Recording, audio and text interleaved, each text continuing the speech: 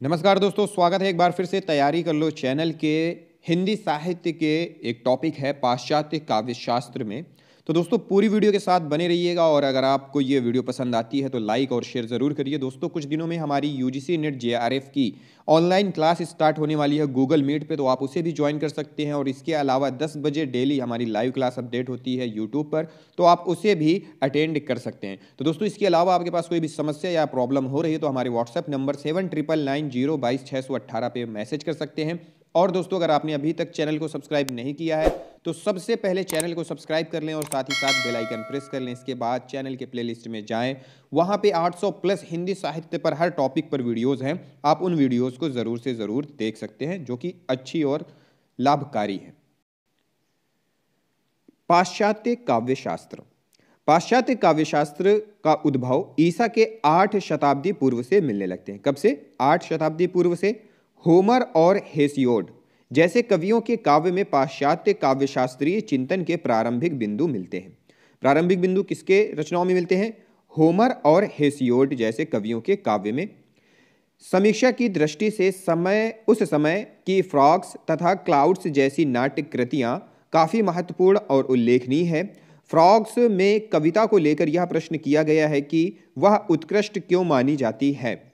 काव्य को समाज, काव्य समाज को उपयोगी प्रेरणा तथा मनोरंजन के कारण महत्वपूर्ण है तथा क्या है? काव्य समाज के उपयोगी प्रेरणा तथा मनोरंजन के कारण महत्वपूर्ण है या आनंद प्रदान करने तथा मनोरंजन के कारण? ये प्रश्न उसमें पूछे गए हैं। इस तरह से काव्यशास्त्रीय चिंतन सूत्र यूनानी समाज में बहुत पहले मौजूद रहे हैं। परंतु विधिवत काव्य समीक्षा की शुरुआत प्लेटो से हुई है। कब से हुई है? प्लेटो से। आगे देखते हैं। पाश्चात्य काव्यशास्त्र के प्रमुख ग्रंथ। तो पाश्चात्य काव्यशास्त्र के प्रमुख ग्रंथ और उन ग्रंथों के लेखक कौन कौन है? तो यहाँ पे देखेंगे तो सबसे पहले नाम आता है प्लेटो का 427 से लेकर के तीन ईसा पूर्व। इनकी जो काव्यशास्त्र है, इनकी रचनाएँ हैं, गणतंत्र, Republic, Laws Ion Cratylus, Gorgias फेठुस, Phaedrus, Philebus विचार गोष्ठी पोलितेया नोमोई, सिम्पोसिओन।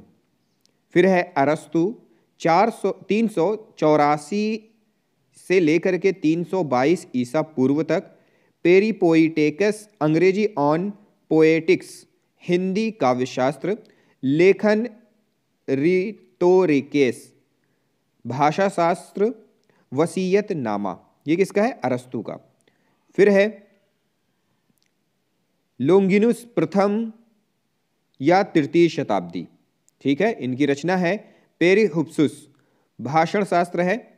फिर है विलियम वर्ड्सवर्थ 1770 से लेकर के 1850 ईस्वी, इनकी जो प्रमुख रचना है वो है लिरिकल बैलेड्स। कविता संग्रह की भूमिका। An evening walk and descriptive sketches फिर है द प्रिप्यूड। नाम थोड़ा कठिन है, लेने में जबान नहीं टूट रही है। फिर है सैमुअल टेलर। इनकी प्रमुख रचनाओं में है बायोग्राफिया लिटरेरिया 1817 ईस्वी, the friend aids to reflection, church and state infection of in inquiring spirit, on imagination. फिर है, बेनेदेत्ता क्रोचे बेनेदेत्तो क्रोचे अठारह से उन्नीस ईस्वी। इनकी रचना है, aesthetic, new essays on aesthetic. फिर है, इलियट 1888 से लेकर के उन्नीस सौ पैंसठ ईस्वी। इनकी रचना है, the waste land, essays ancient and modern, the secret wood 1920 ईस्वी। The use of poetry and the use of criticism. Selected essays, knowledge and experience, homage to John Dryden, Elizabethan essays फिर है ईवर आर्मस्टोंग रिचर्ड्स अठारह से लेकर के उन्नीस सौ उन्यासी ईस्वी। E M Richards E A Richards इनका नाम है।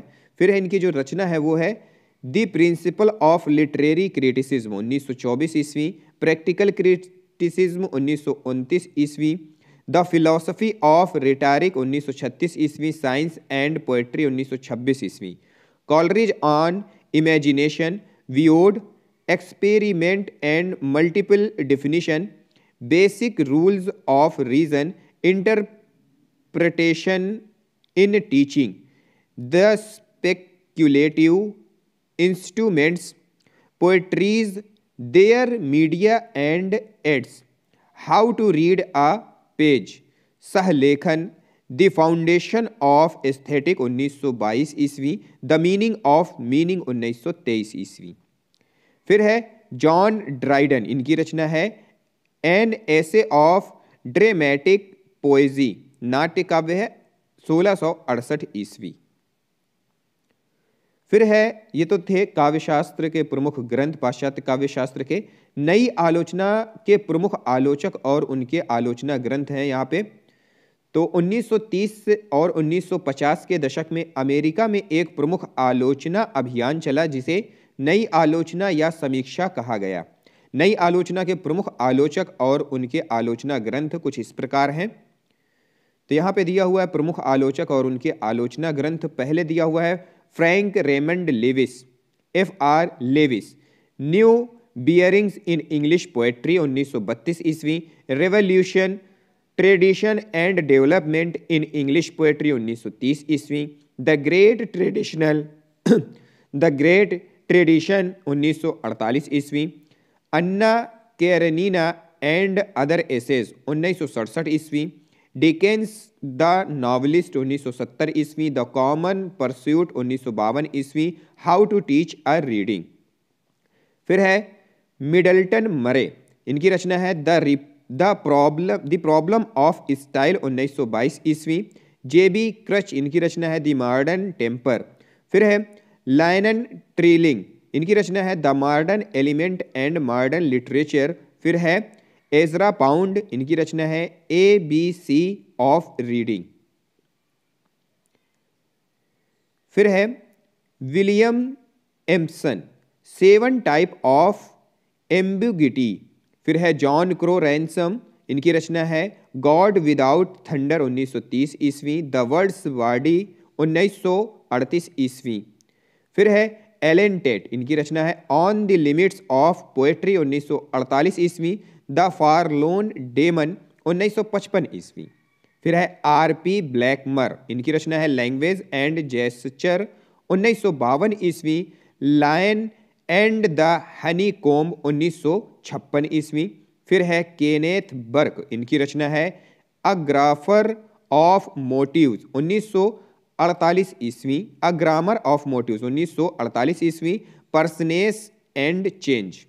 फिर है क्वींथ ब्रुक्स, इनकी रचना है द वेल रॉट अर्न, उन्नीस ईस्वी। तो ये थे नई आलोचना के प्रमुख ग्रंथकार और उनके ग्रंथ। फिर है नई आलोचना की प्रमुख पत्रिकाएँ और उनके संपादक कौन कौन है? दी क्रोएटेरियन 1922 ईस्वी। संपादक हैं टी एस इलियट। फिर है स्क्रूटनी 1932 ईस्वी। संपादक हैं F R Leavis. The Q, the fugitive संपादक हैं जॉन क्रो रैनसम। फिर है कलावादियों की प्रमुख रचनाएँ।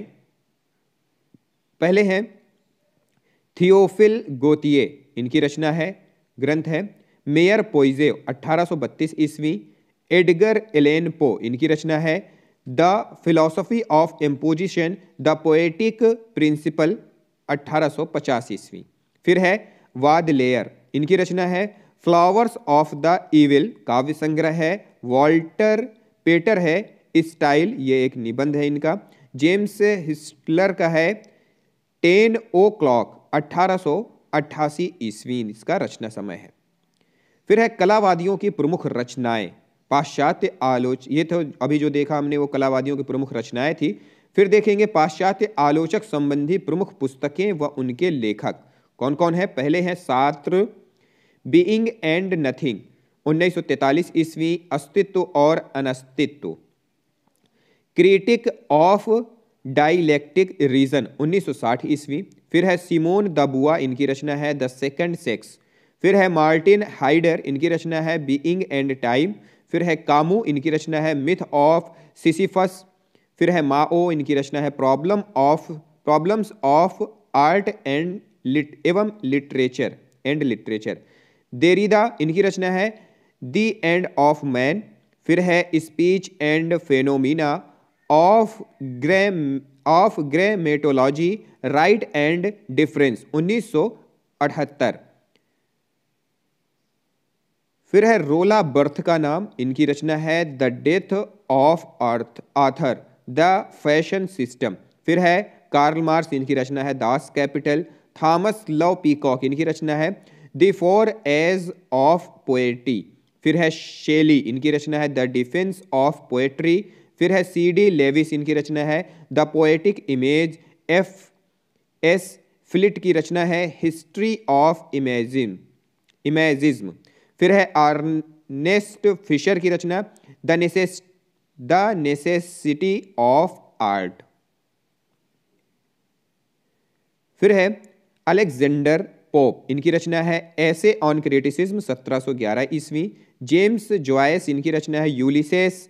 जीन फ्रेंकोज लियोटार्ड, इनकी रचना है the post modern, the post modern condition. फिर है बोद्रिया, इनकी रचना है कंज्यूमर सोसाइटी। पोल डीमन, इनकी रचना है ब्लाइडनेस एंड इनसाइट। फिर है हाइडेगर, इनकी रचना है बोइंग एंड टाइम।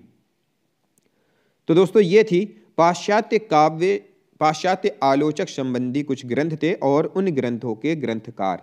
तो दोस्तों, आज हमने देखा पाश्चात्य काव्य से संबंधित कुछ महत्वपूर्ण तथ्य दो, जो कि हमें पढ़ने चाहिए और परीक्षाओं में भी ऐसे कुछ तथ्य या इनकी रचनाएँ पूछ लेता है। तो दोस्तों, इस वीडियो को देखने के लिए समझने के लिए, और मैं तो यही कहूँगा आप इससे अपने नोट्स भी बनाएँ, और इसके बारे में जो T G T P G T की ऑनलाइन क्लास चल रही है, उसको ज़रूर देखें। कुछ दिनों में वो क्लास भी अपडेट होने वाली है। तो दोस्तों, इस वीडियो को देखने के लिए, समझने के लिए, और लाइक और शेयर करने के लिए आप सभी लोगों का बहुत बहुत धन्यवाद।